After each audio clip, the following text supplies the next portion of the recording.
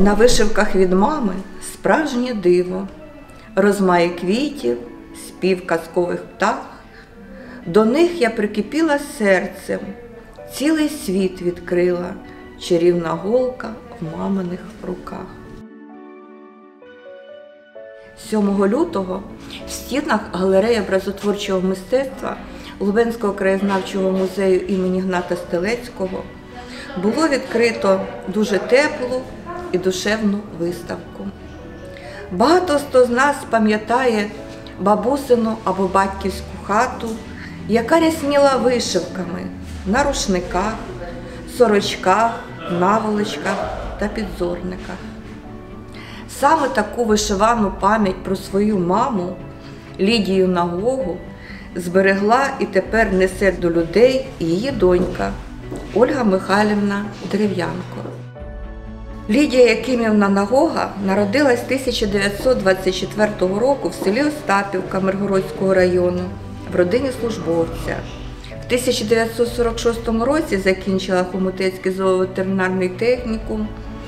Спочатку працювала ветеринаром по Кровобагачанській МТС, а потім з 1950 року на Жданівській ветеринарній дільниці, ветфельдшером, а в подальшому незмінна її завідуюча. У вільний час, як і багато сільських жінок у ті роки, Лідія Якимівна бралася за голку і прикрашала вишиваним дивом свою оселю, життя своєї родини.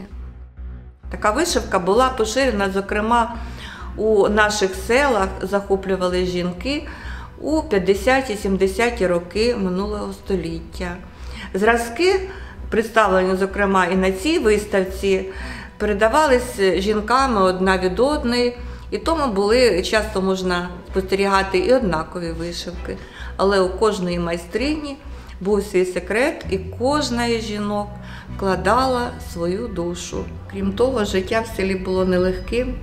І це в той час, коли ще не скрізь була електрика, довгими зимовими вечорами жінки сиділи і творили диво.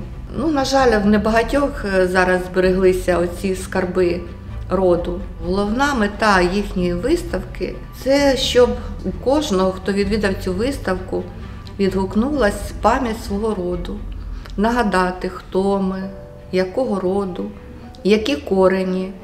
І якщо у вас, шановні глядачі, десь у шафі, а можливо, хто і на стінах зберігає, а можливо, у шафі, чи ще десь збереглися старі вишивки,